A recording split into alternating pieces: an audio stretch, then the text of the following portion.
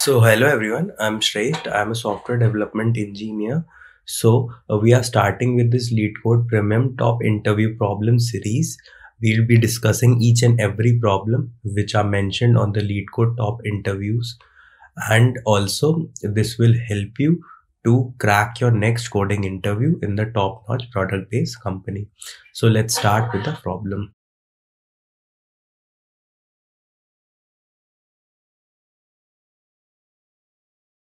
So hi everyone. So today we look at a pattern of problem solving that will help you lot in interviews. So it is the sliding window pattern. So it's a very famous pattern and we will look at its different types and how it is applied to several problems and how to identify the different sliding window problems. Okay. So sliding window problems are basically applicable. This, this let's say this problems or this technique is applicable.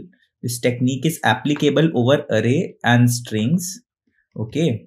And we need to do certain optimization over a k or a target.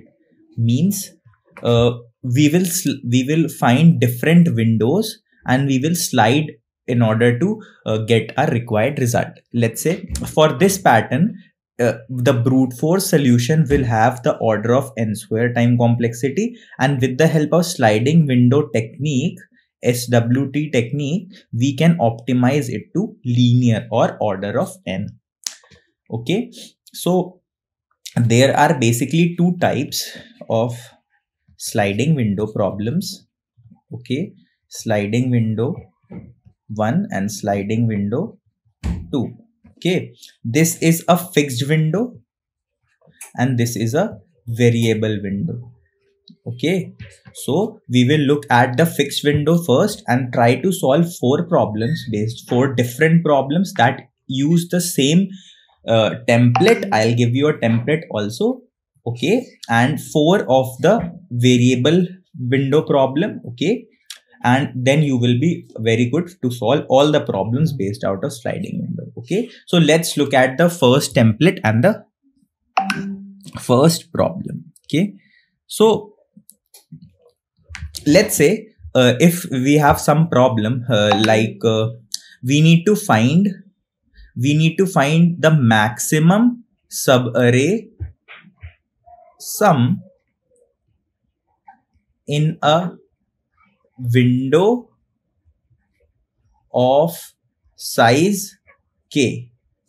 Means let's say we have this array uh, having 1 2 3 4 and k is 2 so for each window each contiguous window each contiguous window of size k we need to find sum and then we need to take the maximum of all the sums.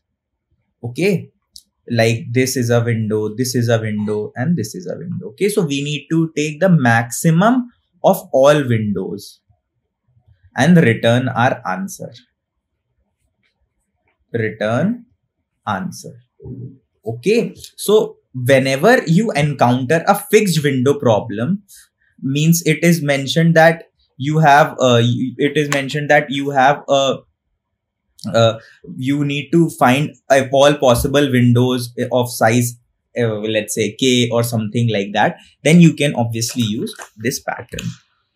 Okay? You can use this pattern. So uh, that is one thing. Okay? So let's try to code this problem and it will give you a better flow how it will okay? I'll just give you the pseudo code. Try to submit this problem. I'll share the problem link with you as well okay. So int sub array sum. Okay. So let's say we have been given a k integer by the user and a vector that is a list and an array list in case of java. Okay. So let's say it is arr and we have the size as given as n. Okay. So these all things are given to us by the user. Now uh, the main thing is let me just zoom it in a bit a bit okay? Yeah. So now we'll declare two pointers i or we can just say it as a window start is equals to 0 and window end is equals to 0 okay? And we have a variable called current sum uh, or let's write it like window sum. Because we have to compare all the windows sum. So we have declared this variable. Okay? After this after this we'll just iterate over. We'll use, make use of a while loop. While window end while window end is less than n. Means we have to traverse till the end of the loop uh, end of the array. We'll just check that if window end minus window start plus 1 what is this? This is the length of the current window. If it is less than k what we need to do? We just need to add elements. We need to just add elements. Why? Because we need a window of exactly k size. We need a window of exactly k size. Correct? So we will just add window sum plus equals to what? Uh, arr of window end correct? This is done now. And we will just move our window end to the next pointer to the next position. Okay?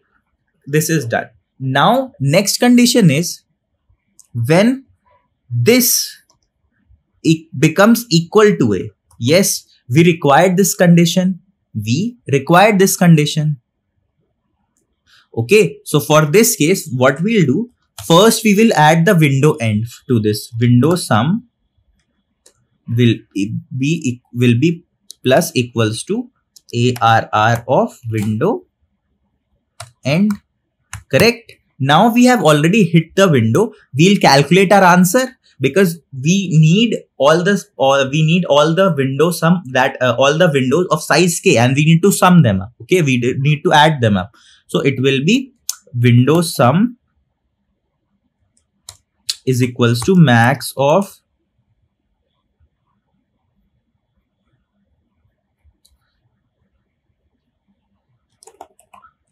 window sum. And let's say we have a uh, we have a overall sum. We have a overall sum also. Okay? Uh, hmm.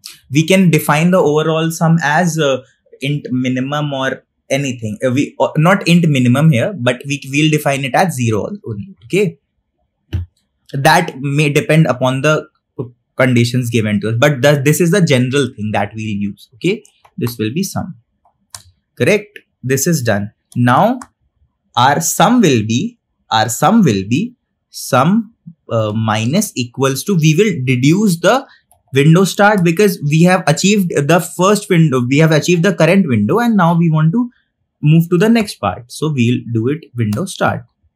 Correct? This is now done. And i'll just increase my window start and window and that is it. This is the whole code that you will need to use. Okay? So just uh, what you need to do just go through it. It's working exactly the same thing. Let me just show you how it is working. So let's say uh, we have different uh, we have let's say initially both of the window start and window end are at this position correct? Both of them uh, first window end is at this and we just calculate we just see that our window size is not equals to k okay our window size is not equals to k. So as soon as it gets equal to k we just add this sum. Now the window start moves to this position window end is also here. We then calculate this we again then calculate this. We just so just make use of this template and we try to solve this problem okay? And it will give you a better insight of the fixed window sliding window problems okay? Thank you so much uh, and we'll also solve four problems based out of it. So do like the video and we'll meet you in the next problem video of sliding. Thank you